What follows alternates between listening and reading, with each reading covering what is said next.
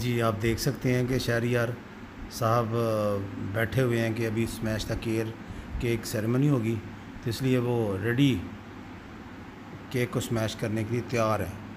तो अभी आप देखेंगे कि कैसे वो स्मैश करते हैं।